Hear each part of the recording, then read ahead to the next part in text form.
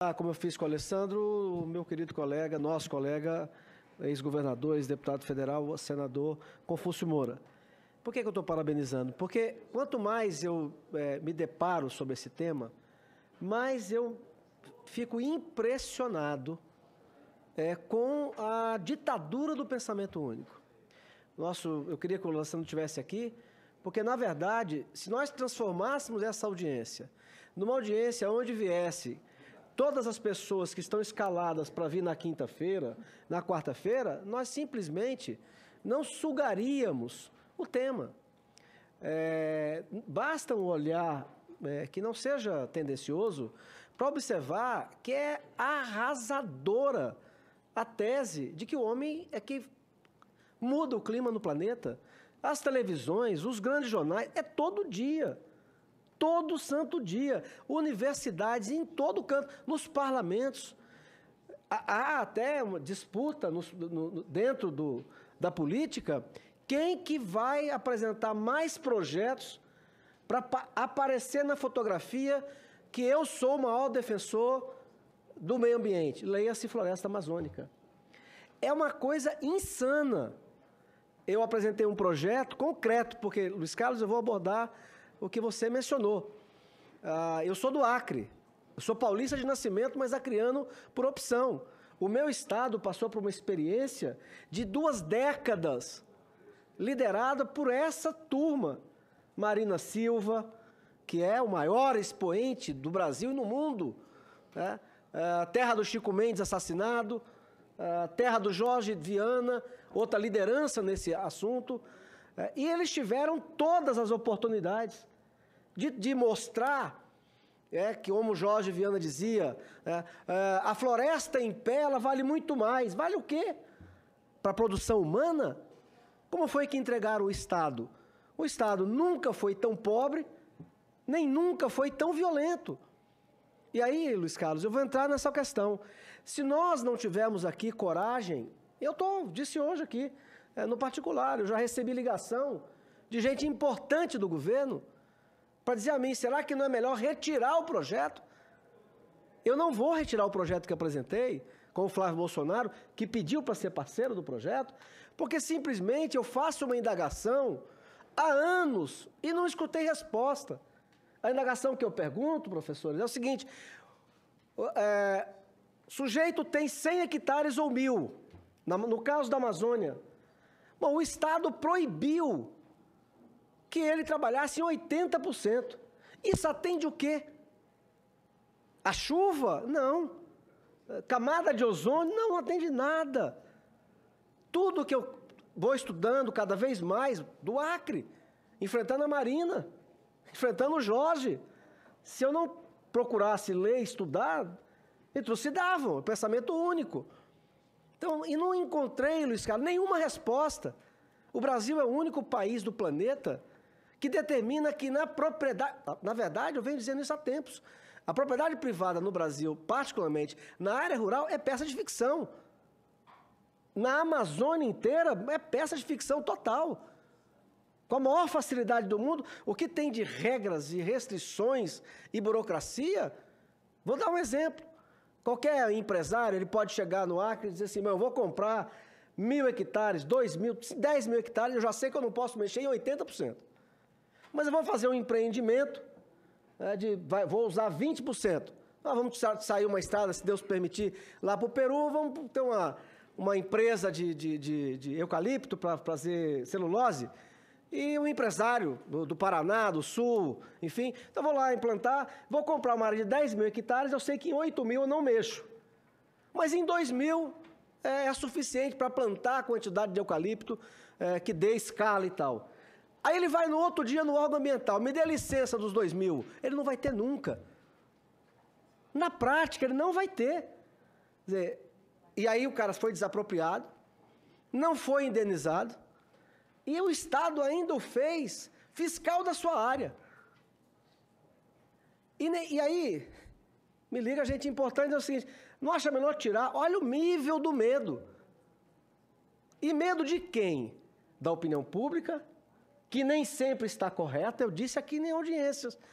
Olha, os maiores genocidas do século passado a seu tempo, te foram ovacionados. Stalin, Hitler, Mussolini, Mao Tse Tung, e nem por isso é, deixou de entrar para a história. É, a anexação da Áustria por, por, Hitler não foi na marra, a Áustria queria. É, então, nem sempre. Medo da opinião pública, a falta de coragem de virar para a opinião pública e dizer: olha, não é assim. E o que mais me deixa estupefato é vassalagem, sim.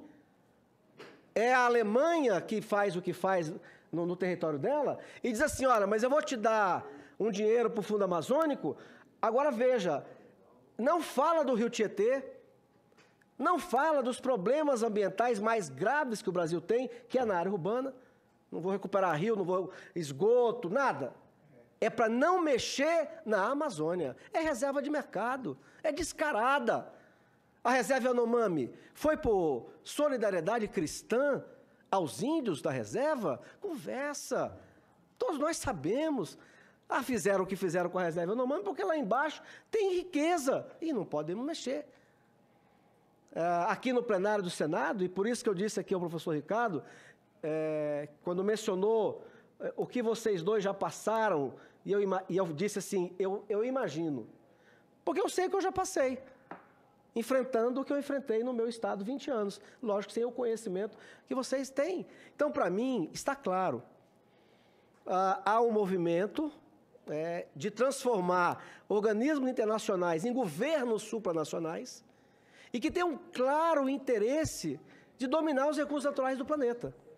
Já que os países ricos não aceitam, em hipótese como dizia o falecido Leonel Brizola, são os interesses. São os interesses.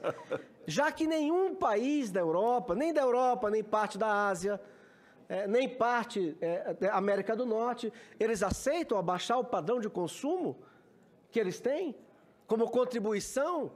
Não aceitam. Então, aqui, Luiz Carlos, por exemplo, no meu estado, criaram fábrica de camisinha. O Estado criando fábrica de camisinha. Que é evidente, imagina o que, que Estado tem a ver com fábrica de camisinha. Bom, mas como é que ela se mantém? Com dinheiro público, com subsídio. O dinheiro acabou, o Brasil entrou em crise, a fábrica quebrou. Aí o que, que é subsídio para uma aventura maluca dessa? Pessoas que chegaram e disseram o seguinte, olha, para com o que vocês estão fazendo. Ainda bem que Rondônia não seguiu esse exemplo. Parem o que vocês estão fazendo, não tire uma floresta. Aliás, eu queria dizer que no único país do mundo que você substituir mil hectares de floresta por mil hectares de eucalipto, de arroz, de feijão, de milho, significa devastação é no Brasil.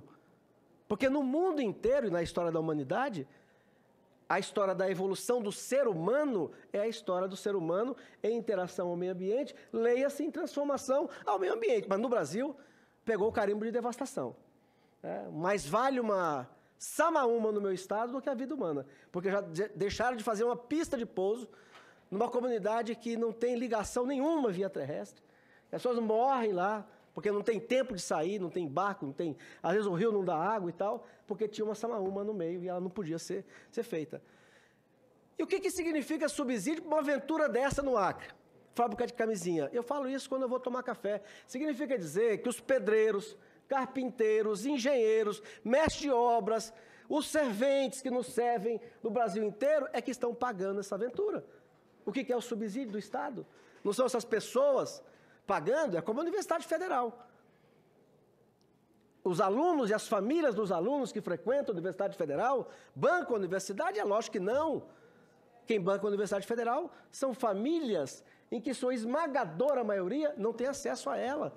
Então, as aventuras do meu estado, pilotado pela Marina e essa turma toda, é, é, são, foram custeadas com dinheiro público. A hora que cessa, acaba. Não existe mais. Fábrica de peixe. Quando Rondônia era o segundo, e parece que agora é o primeiro produtor de peixe de água doce do mundo, do, desculpa, do Brasil, daqui que saísse o peixe de Rio Branco, para chegar em Porto Velho já tinha andado 500 quilômetros, já não tem preço.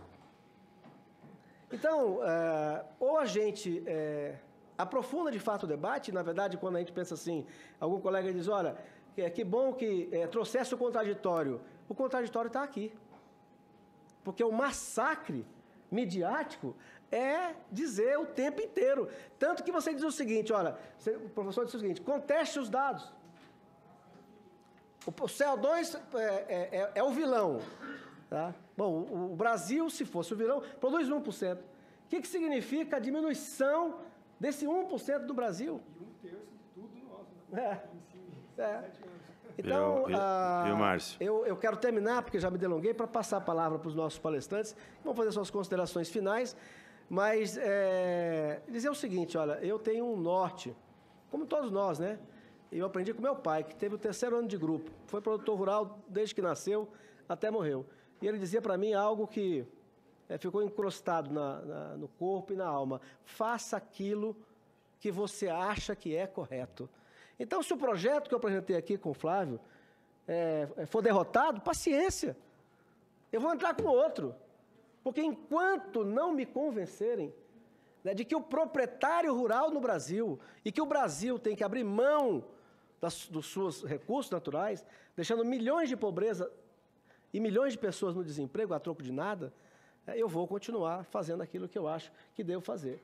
E quero terminar a minha fala, e já me despedir, passando a palavra para os dois, dizer que eu, particularmente, me considero um privilegiado por ter tido hoje a oportunidade de estar, num momento só, escutando duas pessoas de quem eu já nutri é, e busquei um monte de, de entrevistas, de, de, palestras que ajudou a, a, a, embasar mais aquilo que há 30, 40 anos eu já tinha como intuição. Então, passo a palavra ao professor Molion, em seguida ao professor Só Ricardo, para... para as considerações finais. Os dados que a Embrapa fez, é importante. Professor Molion, deixa eu só, deixa eu só fazer um, um reparo para ficar registrado aqui. A Embrapa fez um levantamento das florestas primárias 8 mil anos atrás. A, a Europa, senador Márcio,